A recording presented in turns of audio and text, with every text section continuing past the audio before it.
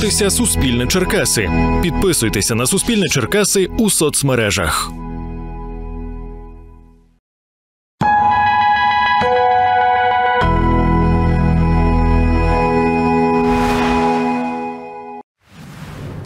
Вітаю час новин на Суспільному Черкаси. В студії працює Марія Гаврилян, жестова мова Галина Абраменко.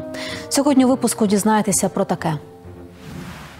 У Черкасах вшанували ліквідаторів аварії на Чорнобильській АЕС. Їхні особисті речі та фото зберігають в музеї головного управління ДСНС області. побачити експонати про дії рятівників. Безоплатний обмін пенсіонери Черкащини отримали мільйон лед-ламп навзамін ламп розжарювання. повкручувала в хаті. Менше плачу за електрику. Більше 200 тубусів від танкових снарядів розмалювали черкаські митці. Їх продадуть, аби зібрати кошти на ЗСУ. Ми вже купляємо восьмий пікап. Молебнем та покладанням квітів у Черкасах вшанували ліквідаторів аварії на Чорнобильській атомній електростанції. До пам'ятника жертвам цієї катастрофи прийшли містяни, серед яких і очевидці тих подій. Тоді це були бойові дії на самому на самому ділі. Нас це був невидимий ворог, скажімо, і дуже багато людей загинуло. Нас брали на неделю. А в самом деле мы побыли 18 дней, так как у нас не було е, заміни. Жалко, що багато ребят погибли. Нині на Черкащині проживає понад 6 тисяч ліквідаторів аварії на Чорнобильській АЕС, вчинки яких мають пам'ятати усі, розповів голова обласної військової адміністрації Ігор Табурець. Будемо дякувати скільки, скільки ми будемо ходити на цій землі. 18 років скоро буде, як не стало мого чоловіка. Мій брат казав і дядько, а хто крім нас? Вони могли не піти рятувати е, Чорнобиль.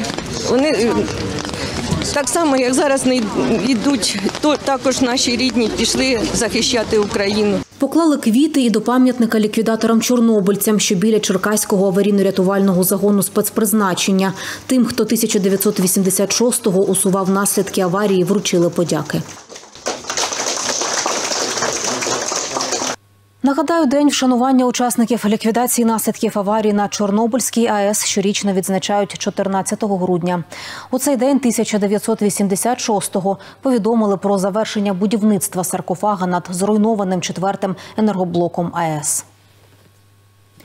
Захисні костюми, особисті речі та фото ліквідаторів аварії на Чорнобильській атомній електростанції. Такі речі зберігаються у музеї головного управління Держслужби з надзвичайних ситуацій Черкащини. Щороку це місце збирає тих, хто 1986-го вів боротьбу з мирним атомом та ризикував життям, розповідає голова обласної ради ветеранів ДСНСників Тимофій Андрійчук. Чому це місце важливе, розпитувала Тетяна Рева. Чуєте, як лунає? Цей дзвін 1763 року з образом святого Іллі колись повіщав про напади турецької орди, розповідає голова обласної ради ветеранів головного управління Держслужби з надзвичайних ситуацій України у Черкаській області Тимофій Андрійчук. А потім він прийшов в пожежну частину, коли ще не було там сигналізації. Нині в управлінні ДСНС Черкащини цей експонат частина виставки. Її створили в особливий та непростий, говорить пан Тимофій. Рік. у рік Чорнобиля ну, в 86-му році. На виставці ви можете побачити експонати про дії рятівників. Та історичні документи, як ось цей. Люди, які бажали із пожежних, от, які бажали виїхати на ліквідацію аварії. Добровольцем був і Олександр Носко. В руках тримає такий самий список пожежників, які зголосилися в 1986 році їхати ліквідовувати аварію на Чорнобильській АЕС. Там є і його прізвище. Ми подавали воду для порятування цементного розчину, які закачували е, під основу саркофага. На фото червень 1986 року. Це Чорнобильська пожежна частина, показує пан Олександр.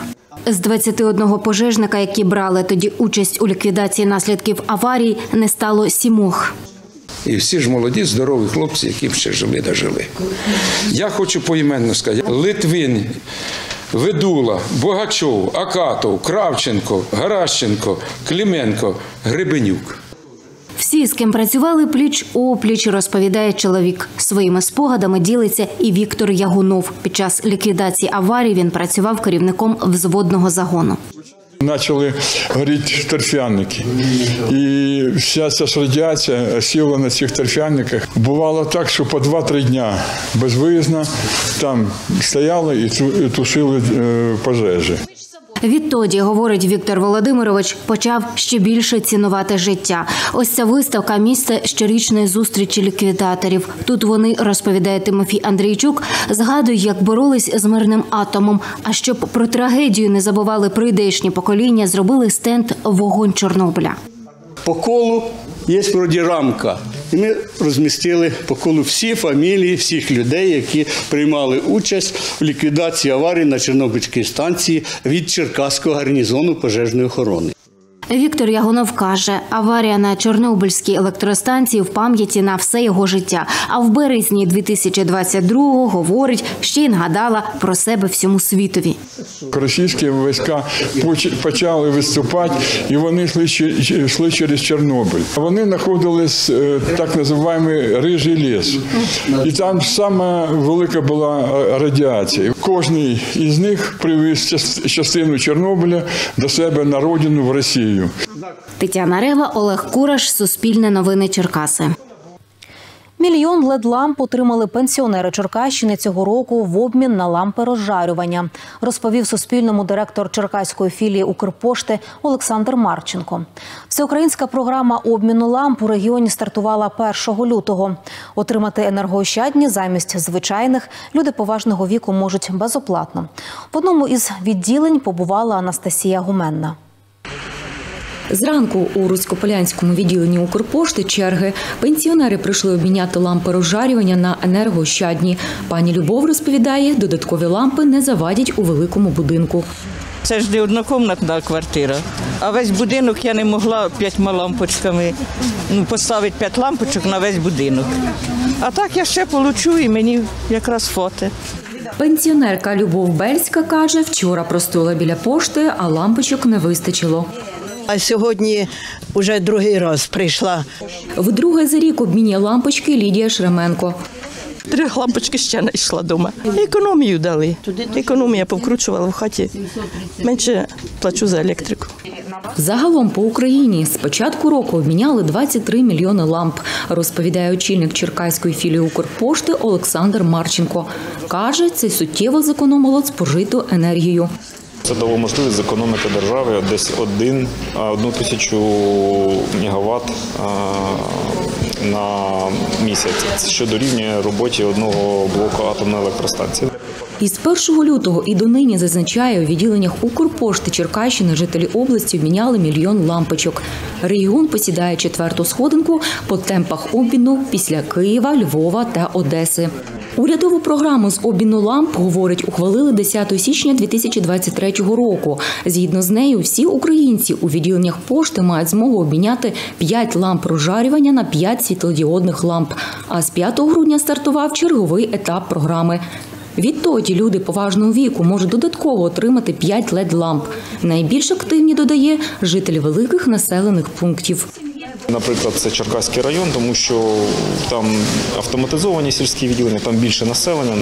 За словами Олександра Марченка, додатково обміняти лампи можуть лише пенсіонери із сільської місцевості. Із собою необхідно мати паспорт, ідентифікаційний код або замовити лампочки в дії. Пенсіонерам не обов'язково відразу мати при собі старі лампи. Вони можуть принести їх до відділення протягом місяця з моменту отримання led ламп. Анастасія Гумена, Тамас Горозія, Суспільне новини Черкаси. Ринок нерухомості у Черкасах стабілізувався, розповів Суспільному ріелтор Олександр Франко. Він працює у цій сфері 14 років. Навесні, говорить, однокімнатні квартири здорожчали на 20%. Та вже восени ціни знизилися. У чому причини таких змін дізнавалася Аліна Бережна. В цих кімнатах я хотів з дружиною зробити велику гарну е, дитячу кімнату. Пан Роман показує квартиру в новобудові, яку придбав торік. Мені пощастило вибрати квартиру в цій новобудові площею 96 квадратів. Та згодом каже, вирішив, що площа квартири замала для родини, тож продає нерухомість. Але за рахунок того, що в мене більше дітей, троє, то мені цієї квартири замало. Хотілося б щось е, більше собі. Продаємо на сьогоднішній день ціна стоїть е, в рекламних об'явах 64 тисячі. Ріелтор Олександр Франко каже, 650 доларів в середньому вартує квадратний метр в новобудові, але додає, є і бюджетніші варіанти. Бо якщо брати самі дешеві, це хрущовки, так називаємо, які йдуть від, е, від мабуть, від 18-20 тисяч однокімнатні квартири до 30 тисяч, в залежності від стану поверху. У попиті каже саме однокімнатні квартири. Ціна таких на початку року збільшилася. З нового року я б констатував би саме вузький сегмент, саме е, квартири, які десь до 40 до 45 тисяч. В середньому я б констатував би зростання від 15 до 25 відсотків. Причина пояснює на це є. Зазвичай активність починається з весни. Це так почалося з лютого, з весни. Люди починають бажати щось змінювати, щось робити. Нині ж додає ріелтор, ринок поступово стабілізується. На сьогоднішній день саме дешеві квартири вже й трошки просіли. Е, Бо був певний дефіцит, це підняло ціну. Наразі зараз ринок ними наситився, і це трошки вже опустило ціну на недорогі квартири. Всі рухи цін на квартири залежать від політичної ситуації, починаючи від дрібних якихось подій, закінчуючи загально глобальними е, подіями, які відбуваються у нас. Люди живуть, планують своє майбутнє і продають, і купляють. Аліна Бережна, Сергій Єфімов, Федір Коцаба, Суспільне новини Черкаси. Більше 200 тубусів від танкових снарядів розмалювали у Черкаському краєзнавчому музеї. Усе у межах проекту Малюємо перемогу, який стартував з початку розповіла Суспільному завідувачка відділу етнології Вікторія Наумчук. Тубуси продають, збираючи гроші для допомоги українській армії. Як волонтерять митці, бачила наша кореспондентка Наталя Черкашенко. Вишиваними орнаментами Жашківщини, Звенигородщини, Смілянщини та Маньківщини прикрашає тубуси від танкових снарядів майстриня Наталія Крамна Таран. Говорить, цей процес ніби дорога в дитинство. Далі Маньківщина, тому що я народилася в Маньківському районі. Потім я намалювала Жашківський, бо в мене батько з Жашківського району. Потім я вирішила намалювати повністю дорогу від Черкас до Жашкова. Всього майстриня розмалювала 25 тубусів, більшість торік.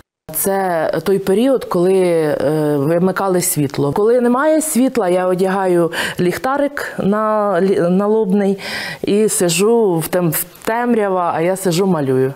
Розфарбовує один тубус щонайменше 6 годин. От така є на кальці намальована е, трафаретка, я її прикладаю. От під е, цю трафаретку кладу е, копірочку, переносю малюнок олівцем на, на тубус. Праця каже кропітка. Тут є така певна послідовність, як я малюю, щоб ну, з цієї сторони не було фарби, щоб я пальцями не влізла. Пані Наталія одна із тих майстрів, яка співпрацює із краєзнавчим музеєм в межах проекту Малюємо перемогу, говорить завідувачка відділу етнології Вікторія Наумчук. Я з багатьма спілкуюся з солдатами, з військовими, та й наші колеги відповідно багато волонтерять. Е, мені вдається знайти ось такі контейнери від танкових снарядів.